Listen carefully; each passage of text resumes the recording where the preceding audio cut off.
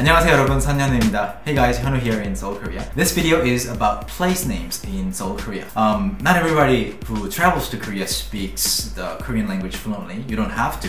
But the thing is, when you travel here in Seoul or in other places in Korea, you need to at least be able to pronounce the place names correctly. Because when people, Korean people hear you say certain place names in the romanized pronunciations, they won't understand you. For example, if you want to go to Daehangno, this place called Daehangno, it's an interesting place, and you say, I want to go to Daehak.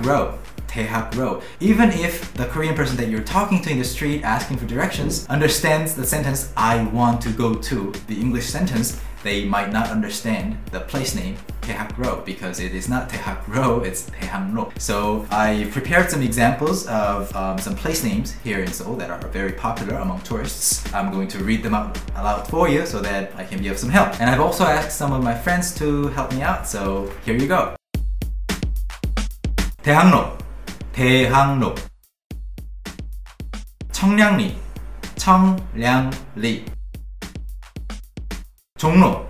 종로. 종로, 종로. 북촌 한옥 마을. 북촌 한옥마을, 북촌 한옥마을. 명동. 명동, 명동. 홍대. 홍대, 서울역. 서울역, 서울역. 강남. 강남. 강남, 경복궁. 경복궁. 경복궁. 창경궁. 창경궁. 창경궁. 덕수궁. 덕수궁 광화문. 광화문, 광화문. 신촌. 신촌. 신촌. 신촌. 신천. 신천 now 신촌 and 신천 are very similar they sound similar but they are two different place names and 신촌 and 신천 are actually one hour apart from each other so I have a friend who went to 신천 instead of going to 신촌 and who was waiting there so don't make the same mistake don't go to 신천 when your friend is waiting in 신촌 another one is 종각 종각,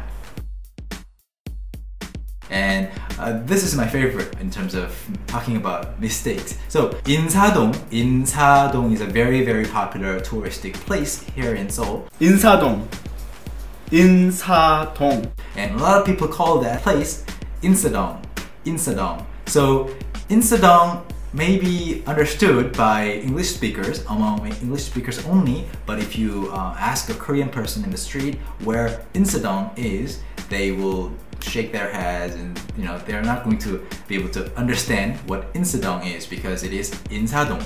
Insadong. So please say Insadong instead of Insadong, okay? And two more examples. 여의도, 여의도, 여의도. 여의도. Sometimes it's pronounced as 여의도, 여의도. And the last one is 영등포, 영등포.